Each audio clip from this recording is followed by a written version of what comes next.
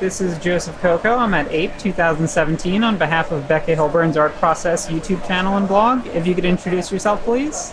Hi, I'm FANGRRLZ.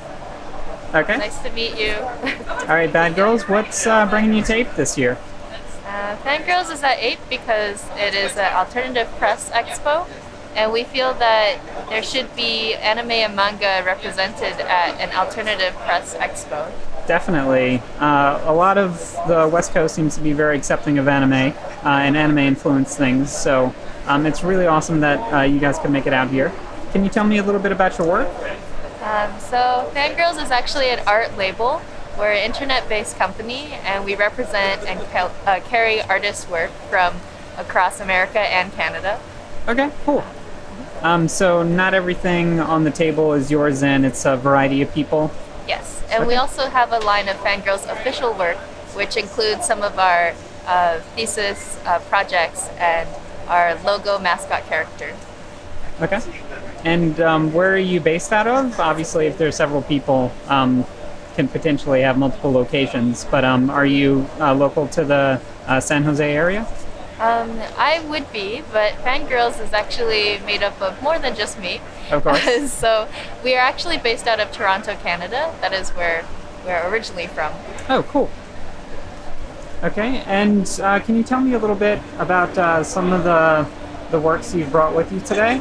Um, I see you have a lot of T-shirts, comics, charms, and that sort of thing. Uh, washi tape seems to be uh, uh, big with um, uh, fangirls. I guess what would you say is the what would you think has been doing the best at, at APE so far? I feel like the quintessential FANGRRLZ uh, look is uh, is kind of like a punk inspired anime take. Sure. And at Ape, I feel like um, what has been doing well were, let's see, uh, uh, some of our books here.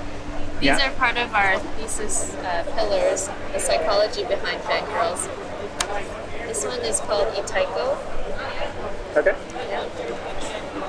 Yeah, and um, I picked this up yesterday. Um, oh no, I'm sorry, I picked up Mushiban, uh, but they're both uh, Risograph uh, Illustrator works you, you mentioned. Um, what was the decision behind that? Did you just feel like it was the best representation of the work, or did you approach it uh, from the other way and you, you wanted to do some Risograph and decided to put it into a book after the fact?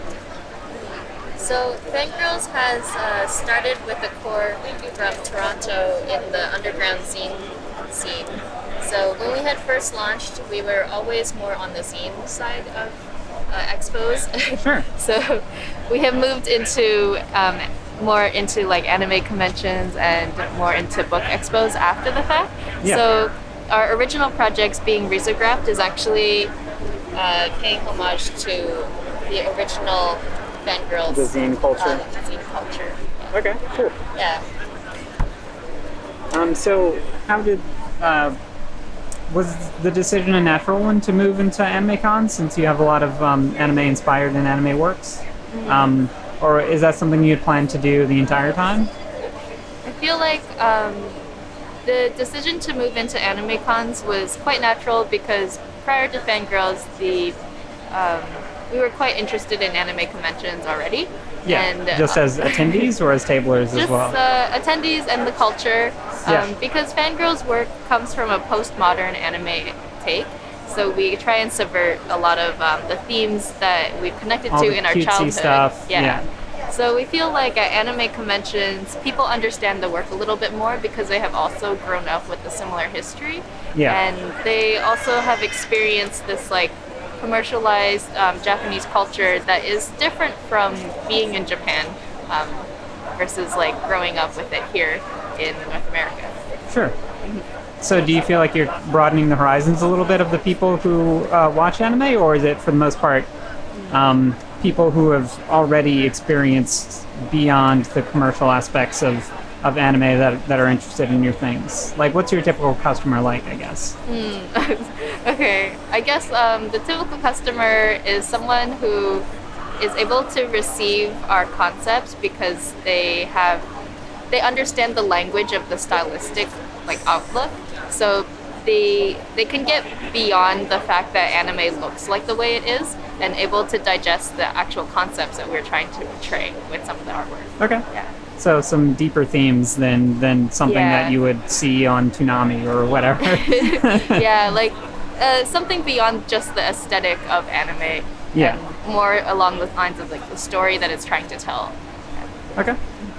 Um, can you tell me a little bit about your washi tape uh, designs? Yes, sure.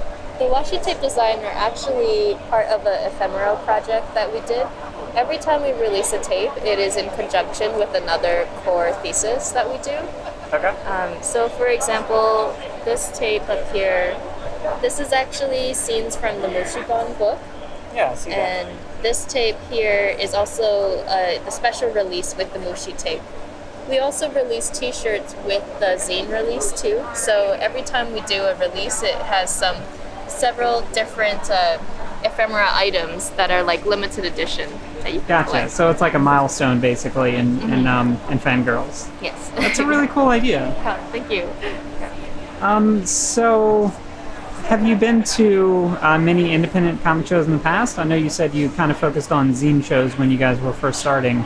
Um, is um, like what what made you specifically choose Ape other than being kind of in the San Jose area? I think initially what drew me to Ape was um, the fact that it was advertised as alternative press. Yeah. Because we feel like that label accurately describes what we are, because we are definitely alternative uh, and press publishing our own work. Yeah, definitely.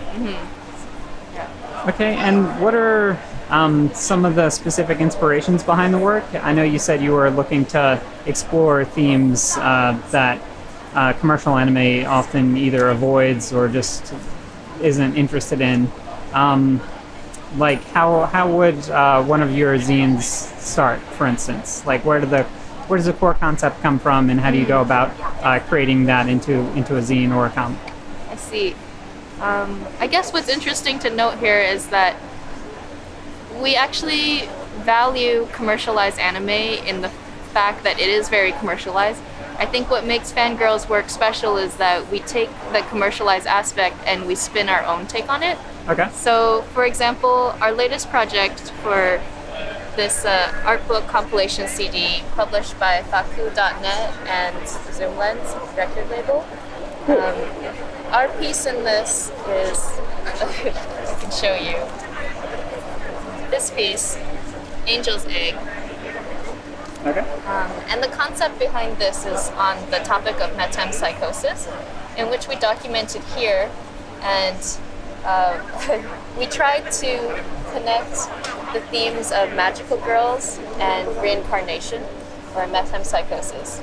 Interesting. Yes, so the definition of this is the transmigration of a soul without judgment. Um, and it's So a little bit of a Buddhist type. a, a little sorry, bit, it's kind of like a reincarnation, sort of. Like- Okay. And so we actually connected this to the popular anime Sailor Moon. Even though Sailor Moon is Sure. a very commercialized anime that everybody has watched before, uh, we felt like there are deeper themes here where we interpreted Sailor Moon's uh, reincarnation as the same soul passing through various objects. And the objects are almost like passed down generation from generation, like heirloom objects. Okay. Yep. So it's just a um, deeper dive into uh, what some of the creators may have been thinking about when they're producing this, but it's not brought to the forefront during um, the actual story of the show, is what you're saying.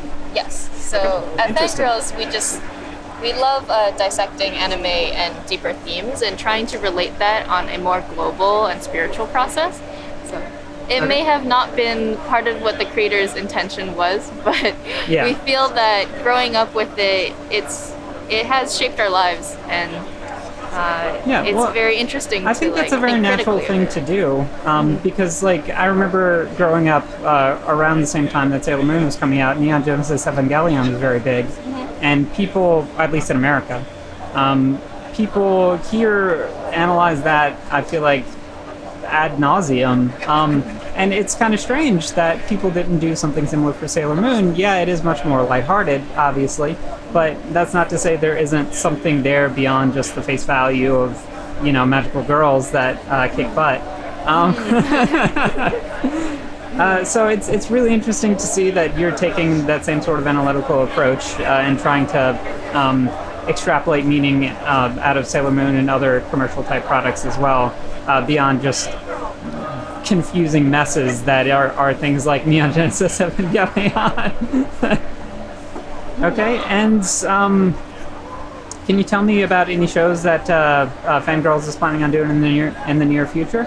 Um, the next convention that we will be doing is Kumoricon, and I believe that one is in Portland. Um, Cool. and then we are also doing uh, a um short run, which is a book fair in Seattle. Okay, awesome. And where can we find your work online? Uh, you can find our work uh, online at um, www.fangrrlz.net. That is our web store, and we are most active on Twitter. Our handle is fangrrlz underscore press. Okay. And we can find all of your T-shirts and your zines and um, washi tapes and that sort of thing at your store. Yep. Fantastic. All right, and finally, would you have any advice to an artist who's considering tabling at Ape for the first time? My advice would be to do a lot of research and uh, ask questions. Definitely come to Ape and ask the artists who are already tabling. So show up as an attendee and just talk to people, basically. yes, and um, that I guess that would be it. All right. Well, thank you, FANGRRLZ. I hope you have a good Ape. Thank you. Thank you very much.